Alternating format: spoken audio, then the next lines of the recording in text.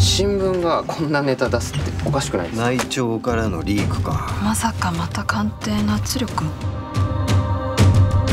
野党とつながってるという事実さえ作ればいいんだ。完全な民間人ですよ。これも国を守る大事な仕事だ。国と家族のためだって自分に言い聞かせた。俺のようにはなるなよ。教えてくださいどうして神崎さんが死ななければならなかったのか。権力の闇に迫る女性記者とエリート官僚。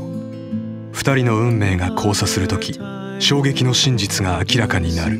ひょっとしたら政権がひっくり返るかもしれないぞ。嘘か本当かを決めるのはお前じゃない。国民だ。俺たちは一体何を守ってきたんだろうな。新聞記者。あなたはこの映画を信じられるか？